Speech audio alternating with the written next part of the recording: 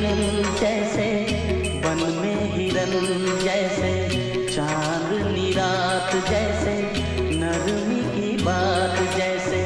मंदिर